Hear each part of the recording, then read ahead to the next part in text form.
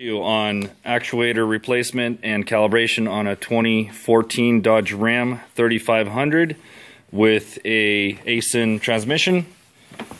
So first thing you do is you re remove the wheel. Then there's a bug guard, a rock guard that goes around the wheel well. And the actuator is right by the turbo, right on the turbo, right there. There's a plug for it take a bolt off holding the wire there. Then there's four screws, two on top and two at the bottom. Remove those and that comes off. Once you remove the four screws and attempt to take it off, you will get the coolant. If you want to drain that first, that's good. You can uh, unplug it, push that down, pop that off. There's a screw holding down here unscrew that.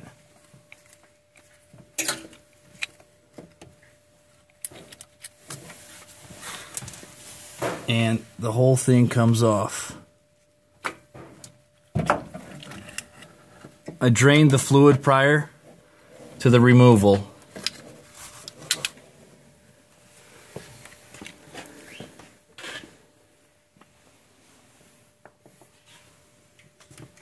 And that's after removing the actuator, you'll want to take Scotch-Brite and clean around all the all this rust and any debris that's left from it.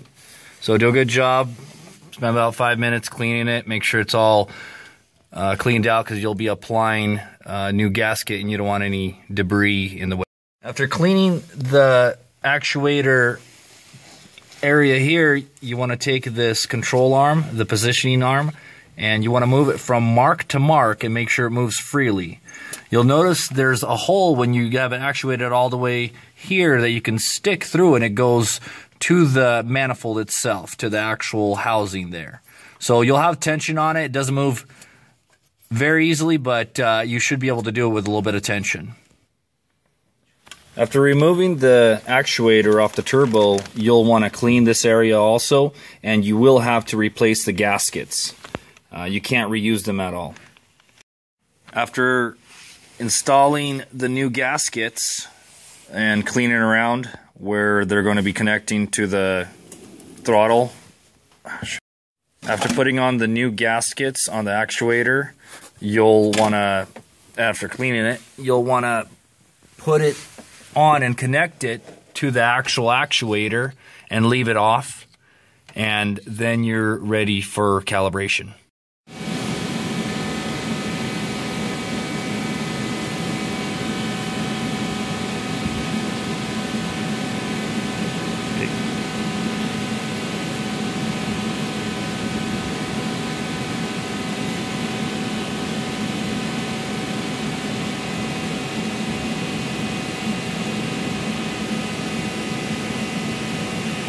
So now the actuator is hooked up and we are ready for calibration.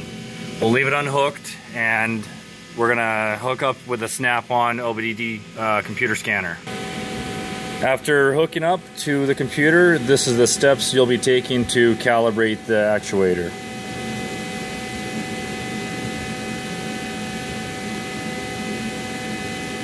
You want to turn on the key.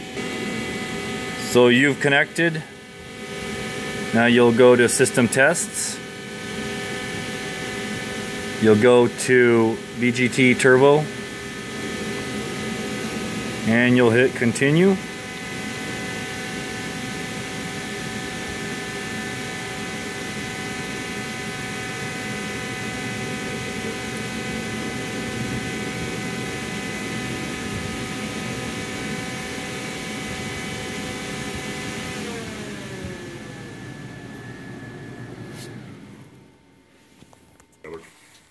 At this point, you have to go to the actuator and put it onto the turbo, and uh, we're going there. Okay, so we have our actuator ready to go. We got it all cleaned up for your debris, and we want to set our actuator arm to the left position so the see-through hole right here will be positioned just like that. You don't see it there.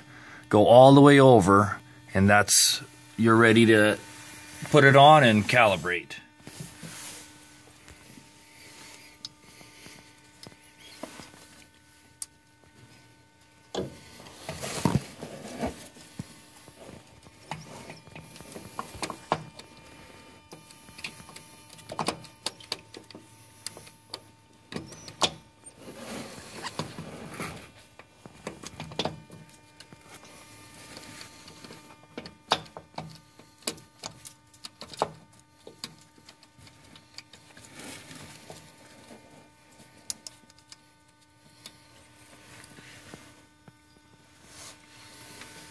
You want to wiggle a little bit to align the teeth to go into the alignment gear.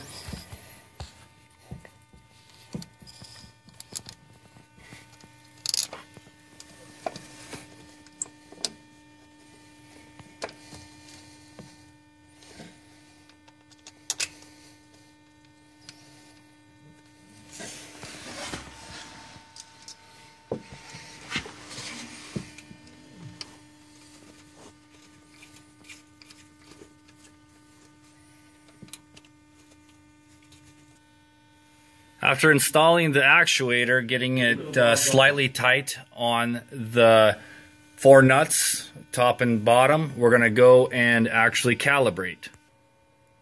So now we're back here and ready to calibrate. Continue. You'll hear a noise, the control arm, positioning arm, going back and forth, getting the coordinates complete. That's it. This is a recap on what we're gonna what we did. So first we took the actuator off. We cleaned it and uh, installed new gaskets. Left it open. Pre-calibrated the position sensor, the position arm. Then we installed it and did a finalized calibration to pair with the turbo. So after that's all done, you're good to go.